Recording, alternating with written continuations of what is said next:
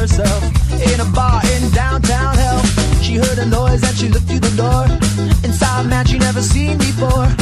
Light skin, light blue eyes, a double chin and a plastic smile. Well, her heart raced as he walked in the door and took an empty seat next to her at the bar. A brand new car is parked right outside. Had you like to go for a ride? And she said, Wait a minute, I have to think. He said, That's fine, may I please buy you a drink? One drink turned into three or four car. And they drove away someplace real far. Now, babe, the time has come. How'd you like to have a little fun? And she said, If we could only please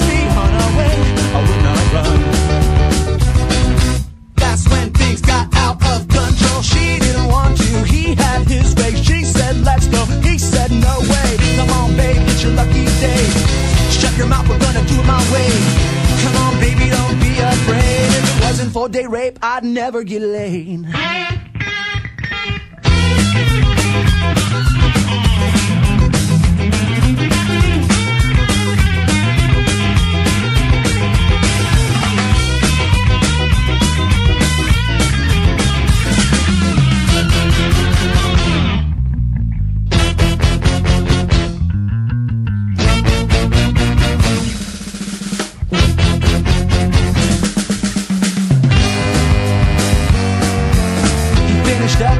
He started the car. He turned around and drove back to the bar. He said, Now, baby, don't be sad.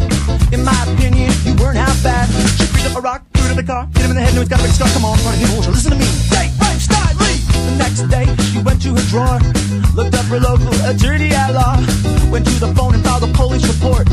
And then she took the guy's ass to court. Well, the day he stood in front of the judge, he screamed, She lies, that little slut! The judge knew he was full of shit, and